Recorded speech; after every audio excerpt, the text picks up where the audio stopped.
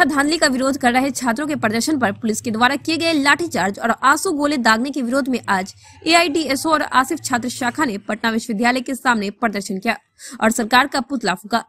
छात्रों की मांग थी कि रेलवे परीक्षा धांधली का विरोध कर रहे थे। छात्र और पुलिस के द्वारा उस पर लाठीचार्ज किया गया है। आँसू गैस के गोले दागे गए हैं, जो कि गलत है।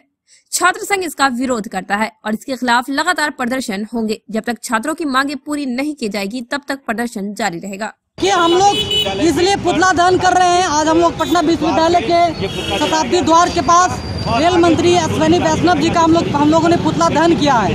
हम लोग को मांग है कि रेलवे की एनटीपीसी परीक्षा में, उनके रिज़ल्ट में बड़ी पैमाने पर धांधली हुआ है। और इस धांधली को हम लोग सुधार के अति में हम लोग यहाँ पे आंदोलन कर रहे हैं। और अभी देखिए, कल ही है जो रेलवे भर्ती बोर्ड के द्वारा एक नोटिस जारी किया गया है और कहा गया है कि हम अब ग्रुप डी का जो एग्ज़ाम लेंगे, उसमें दो गो एग्ज़ाम लेंगे। अब बताइए कि ग्रुप डी का भी एग्ज़ाम में दो गो एग्ज़ाम की उन्होंने बात किया है, ये किस बेसिस पर बात किया है? बताइए तो कि उन्होंने कहा है कि ग्रुप डी में दो गो एग्ज़ाम लेंगे और हम लोग का वहाँ उसका काम क्या होगा? सबको ट्रेन के पटरी पर हथौड़ा मनो ढो करके पटरी को देखना काम होगा।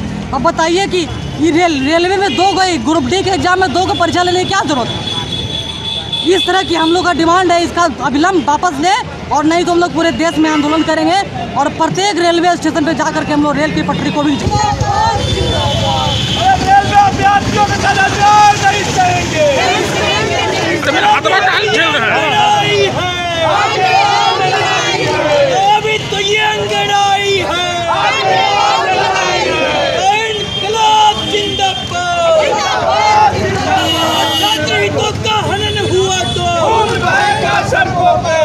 छात्र एकता जिंदाबाद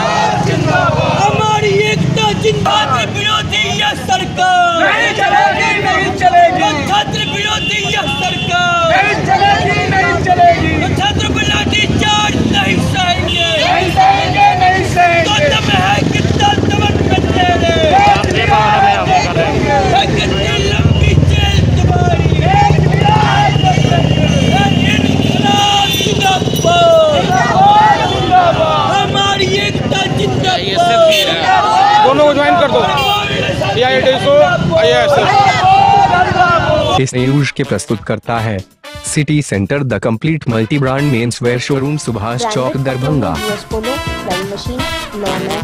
ली एक एक्सक्लूसिव शोरूम सुभाष चौक और दैनिक कौमी तंजीम न्यूज़पेपर दरभंगा।